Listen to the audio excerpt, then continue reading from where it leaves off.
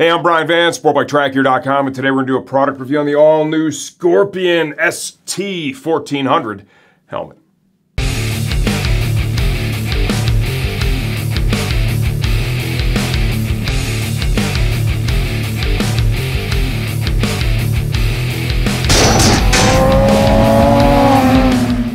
The all-new Scorpion ST1400. This helmet retails from 399 to 429. It's going to depend if you want a solid or a graphic. Right now, we're showing you the solid matte carbon finish. And go ahead and get nice and close in that, dude. This thing looks really, really good. Honestly, I wish they would have done the same thing here in their R2000 or redone the R2000. This is a great looking carbon weave here from Scorpion. Who is this helmet right for? The ST1400 features a drop-down inner screen, retractable, okay? So this is going to be a street helmet, sport bike, touring bike, Harley. If you're looking at this, you're like, man, I want a full-face helmet with a drop-down inner screen, and I dig the way this looks. You're gonna love it, pull the trigger. It is a great helmet. Let's jump, jump into some of the particulars now about this lid. Certification. This is both DOT and ECE certified. So you've got two good safety standards that you can count on there. Weight. The listing from Scorpion, the note I saw was 3.05 pounds in a size medium. I had Caleb throw this on our shipping scale today. We came up with 3.2 pounds. It's not impossible. Our scale could be a little bit off, but 3.2 is still super, super light for a medium-sized full-face helmet. Fit and shape. I measure 58 centimeters on the money intermediate oval head shape, which means just a little bit longer front to back than side to side.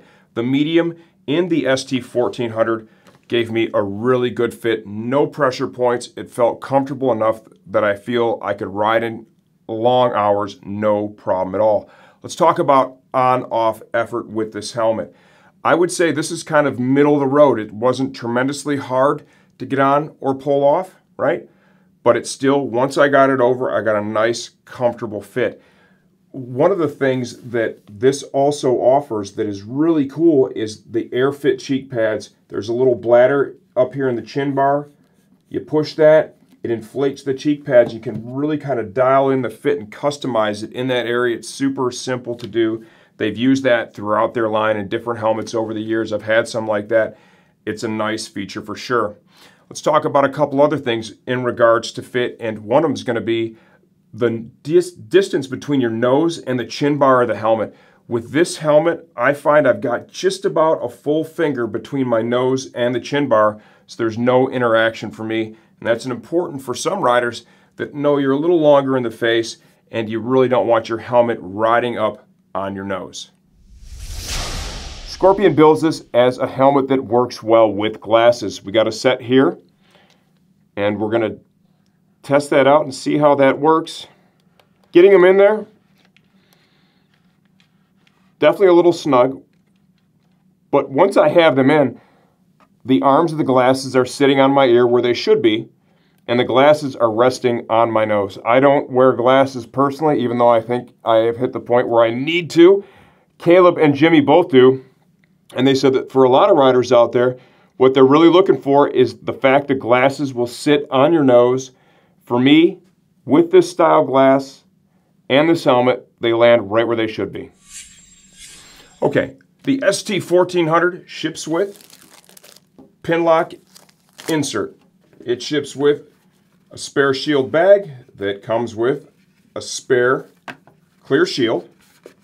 No need to include a tinted shield with this. Realistically, you've got the tinted drop-down inner, so this would be a replacement. If you've ridden it long enough, maybe you get some stone chips in it, you've got a free replacement already ready to go. Premium helmet bag. Features benefits. Ventilation. We've got a large vent here at the top of the helmet. It is multi-position.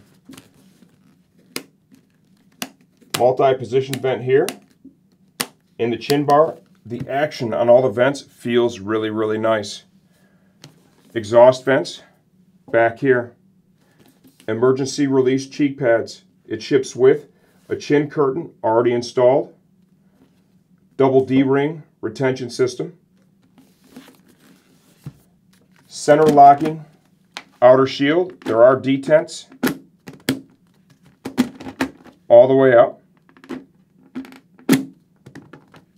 The lock is nice. The center locks do seem to work really well. Everclear treated fog-free shield. It is possible, depending on the riding conditions you're in, you may not even need the pin lock shield. Okay, reinstalling the shield. This is relatively simple. You've got your tabs here. You want to kind of mimic an upward most position. Get the tabs to drop in and put a little pressure like so. The thing is spring loaded, so it needs to move around a little bit. We'll do the same thing over here on the other side. All the way up, locate it, put a little pressure, and then you want to make sure you operate it a couple of times before you take it out and ride, just to make sure you've got everything right where it needs to be. Scorpion has prepped this helmet to accept communicator devices. It's not directly prepped like, say, the GT Air 2 helmet from Shoei, but it does have integrated pockets. We're going to show you as we remove the liner inside the helmet. This liner is removable, washable, and or replaceable. Chin curtain, kind of pushing up here at the front. My thumb is under it. And then pull back. That is held in there pretty tightly. I think it's going to stay in place when riding. I also like the flexibility of the material they've used here. When you have it in place and you're putting the helmet on and taking the helmet off, it's comfortable. It's, it's really not rubbing too hard, so they chose good fabric there.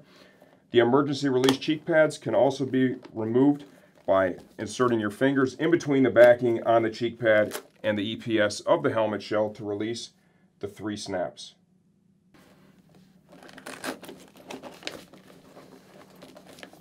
Pretty simple to get out. Just make sure you've got these disengaged here. Top pad. We have two snaps here at the back.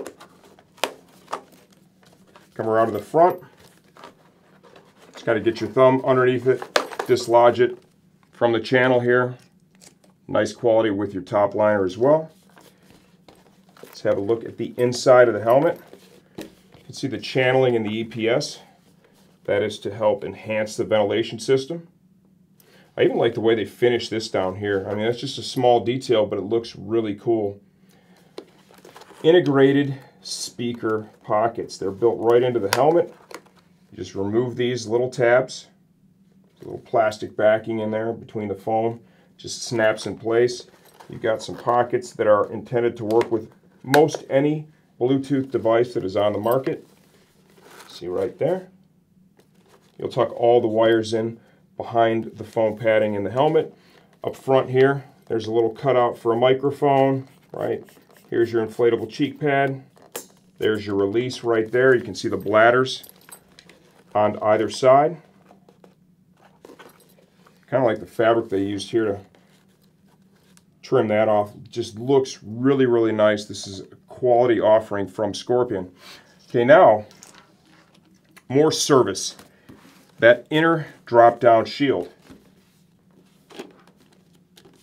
In order to remove it, you need to get behind the shield and grab it and then lightly pull out like so.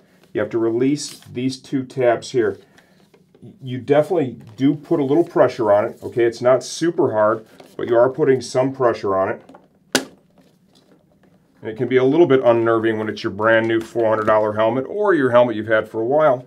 But if you take a look at the clips here, you'll see that what they do is they spread out over a post and then clamp back over it once you have it seated. To reinstall, simply push it in. And you can really see where it needs to go. Support the helmet, push back gently. Repeat the process on the other side. And then double check. Okay, let's bring this whole thing home. The all-new 1400, what do I think? And please understand, I have not yet ridden it. I do intend to do that once it warms up a little bit here in Michigan. I know, I know, it's kind of warm today, but you know what? I'm a very, very fair weather rider. My expectations are that part will be good. Scorpion has a reputation for doing a good job there. What do I think of it? I like it. I love the quality. I love the look. I love the way it felt when I had it on. The free clear shield's not going to hurt anybody's feeling. I think this is a solid option.